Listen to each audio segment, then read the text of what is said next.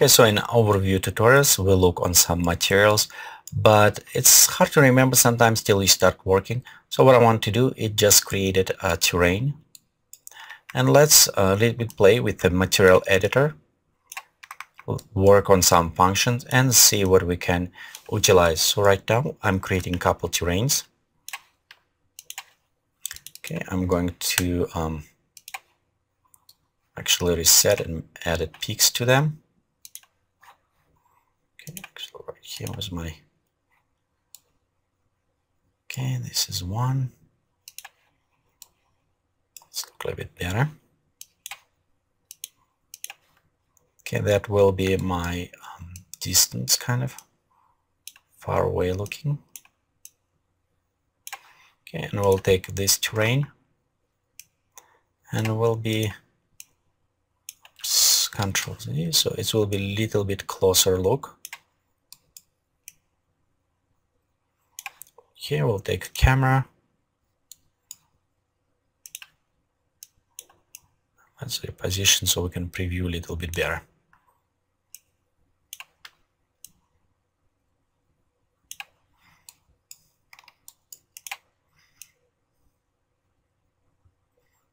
Okay, we'll go at this point. I'm just covering so we can, when we start rendering, okay, let me edit this terrain as well and what I'm going to do is to reset. Create peaks but I want to apply effects so I'm going to increase a little bit quality. Going in effects and just add some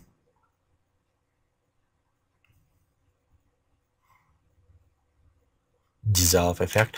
Normal what I can do I can go inside the paint and apply effect but I want to do this from our material editor Go to main camera.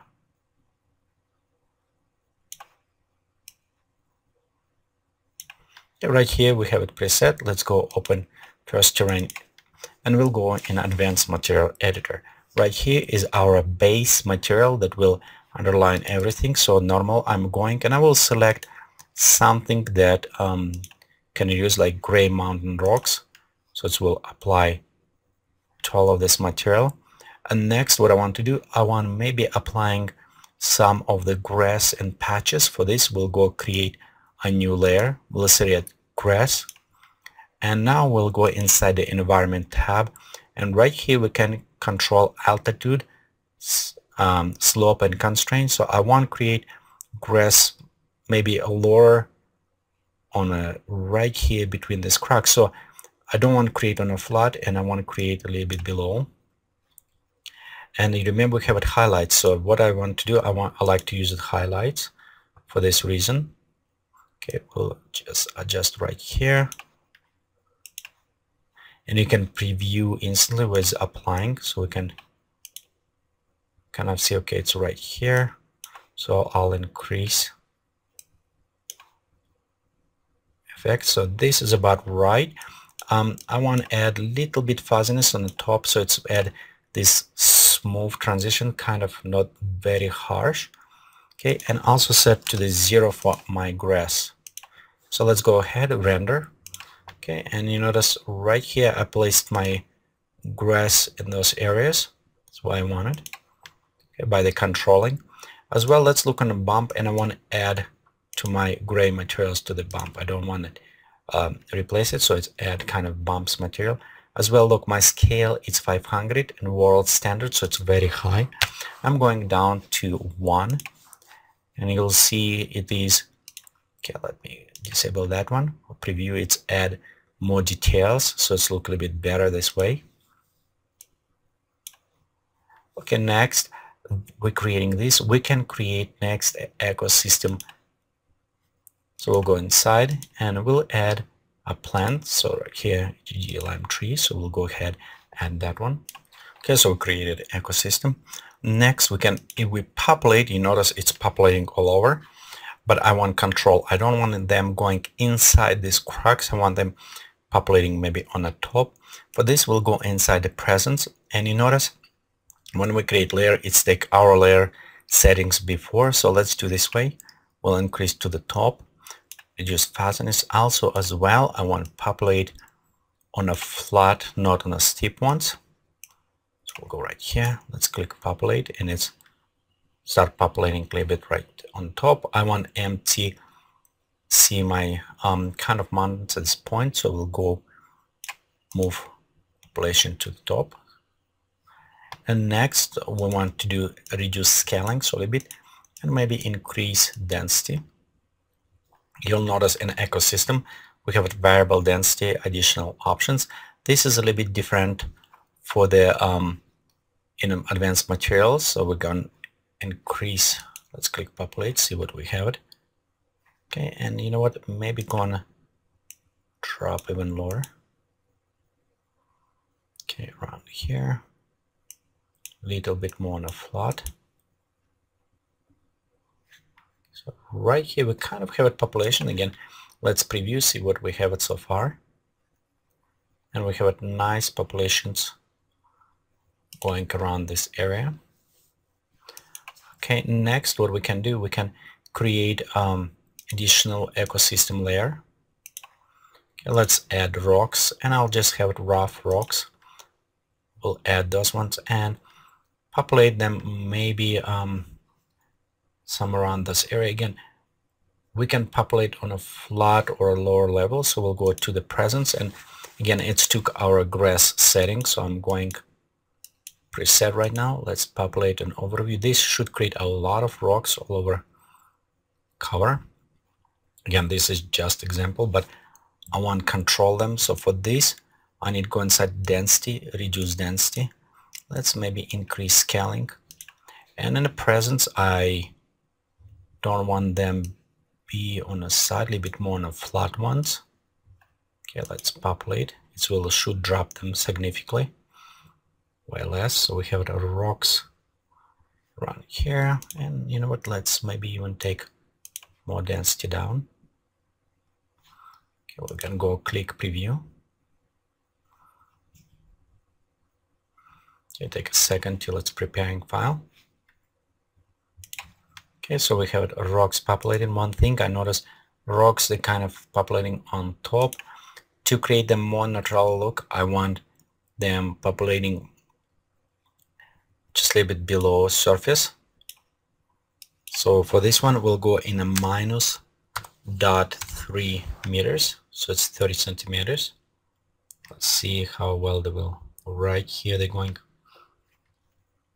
As well on a scaling, we can just increase a little bit more. So we won't have it. And you know what, density, let's even have it less of them. Let's click preview.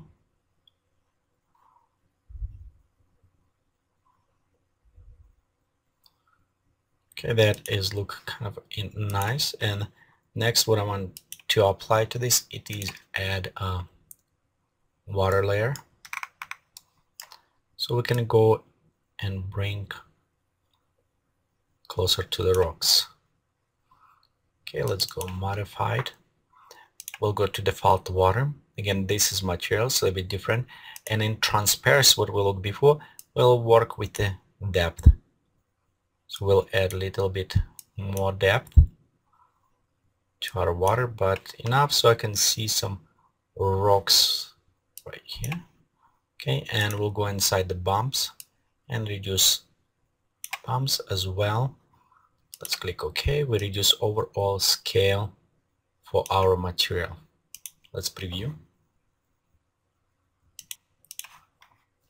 Okay, so right here we have our material applied with some nice water, rocks going inside. Let's work on a back terrain. And for that one, I'm just going to select one with little bit snow. So if we look inside, we can see we're using a mixed materials and it's actually a nested mixed material. So we have one mixed material between grass and sand right here. Which want maybe going more to the ground. Okay, and next we also have it mixed materials with the I see I want to reduce a little bit of this. So right here you can see it. Let's click OK and preview.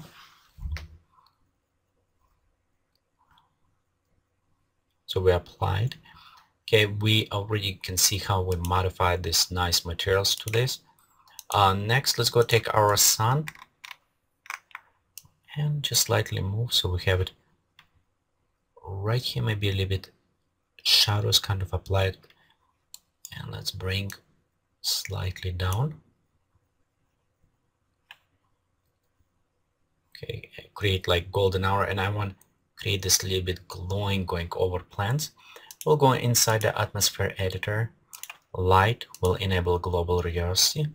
We'll take ambient light make it desaturated so it will bring us these sunset colors a little bit more. Okay, in our image, we'll go to the clouds and just add dark cumulus. Let's make them a little bit lighter with increasing density and a it pop up on the details reduce cover. So it will kind of covering will go inside the sky. And on the sky I want to create a little bit darker. So we'll go edit and add saturation a little bit darker saturation to our and let's increase fog.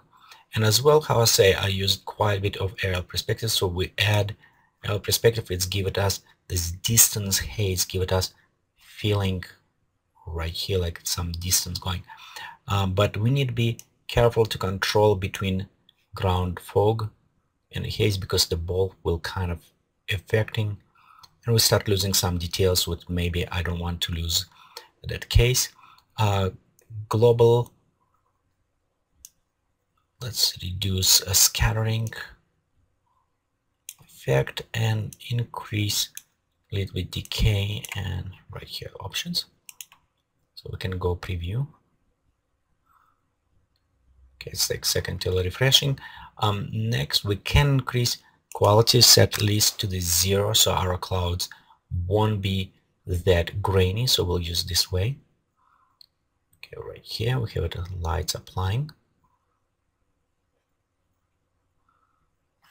okay we can go click preview right now. So and it's already start looking about right except I don't like this straight line right here so I'm going cancel. I'll click OK. Take my first terrain and nice things because with ecosystem it's all there. I'm going to rotate bringing this closer to the camera. Okay, we'll readjust a little bit this way bring maybe even more. So we have it kind of going preview like right here. You can see we have a nice shape going and it's add a little bit more dimension to this area. So water won't be look just straight line. We kind of start going into our effect. And let's take this terrain maybe move even a little bit more far away. So we have it kind of more on a distance doesn't take too much attention from what we're creating. Okay this way we'll take main camera. Position just slightly so I can review how it's look. Maybe move a little bit away and a little bit up so we can balance and preview nice clouds on our effect. So it's look nice. Let's say this terrain. Maybe a little bit too far away so we'll bring just a bit closer. Can I position?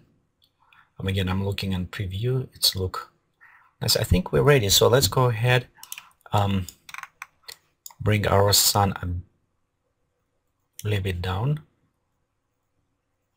see how we'll bring a little bit more on a golden hour with the shadows playing well. Next, right click will set on a final render and I'm going to render a little bit higher resolution so we can preview better. Click OK. I'm going to render this image right now and pause tutorials and we'll come back to the tutorial after render is completed. Okay, so right here we finish render. Let's open. And you can see we have it a nice scenery created with using ecosystem and also as well was using materials distribution right here on a hill and creating some distance materials. Overall, you can see with a not very long work, you can create a nice, beautiful scenery inside the Vue. Thank you for watching this tutorial. Geek Play Studio. Please remember visit us on the web is www.geekatplay.com.